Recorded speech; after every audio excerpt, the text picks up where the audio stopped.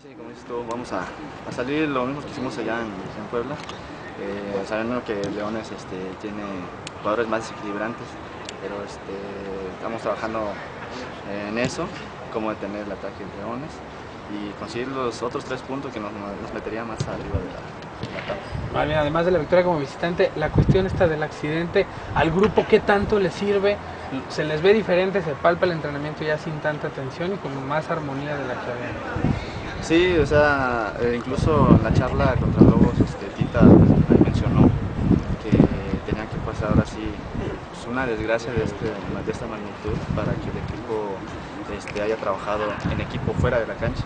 Entonces, de una forma lo, vimos así, que íbamos ganando 1-0 ya desde antes de empezar el partido.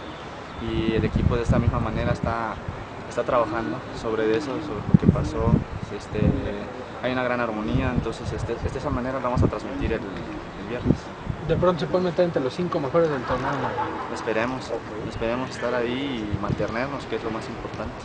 Sí, sí, sabemos que no, nos- no- ahorita no hemos tenido el inicio que habíamos pensado, pero ahí el equipo va de, de menos a más. Entonces la gente que nos viene a apoyar se ha dado cuenta que, que el equipo ha, este, ha respondido en ese aspecto. Entonces el viernes no va a ser la excepción